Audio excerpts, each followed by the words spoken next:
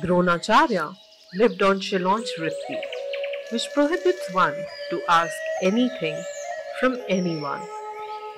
He was taught Astra Vidya, the supernatural weapon art, by Parshurama, who is also an avatar of Lord Vishnu.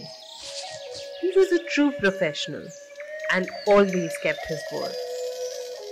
He had promised Arjun to make him the greatest archer in return of Arjun capturing Drupad.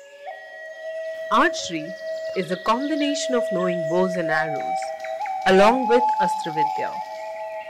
Without knowing Astras that can only be taught by a guru, plain archery would be of limited use. Drona was so divine that his grace alone would make anyone great. Eklavya was the incarnation of demon Manimanta and had inherent hatred towards Lord Krishna. Since Eklavya couldn't succeed in using the Paishach Astras, which were taught to him by the demons, against Lord Krishna, he realized he needed to learn and acquire Deva Astras, which are blessed by the gods. He then approached Drona because only Drona could impart such knowledge. Drona rejected Eklavya because one, accepting him would go against his guru, and two, because Drona was in service of teaching the royal princess at that time, and only royals could be accepted in the same school. Eklavya wasn't of the royal blood, despite being a prince.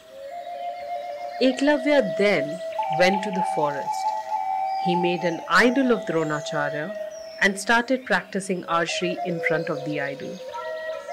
It was the grace of Dronacharya's idol that helped him achieve great mastery in archery. When Arjun learnt of Eklavya's prowess in archery, he questioned Dronacharya's loyalty and honesty.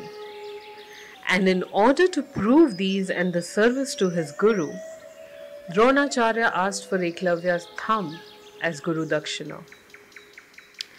Eklavya cut off his thumb immediately because he knew that refusing Guru Dakshina would render his knowledge useless.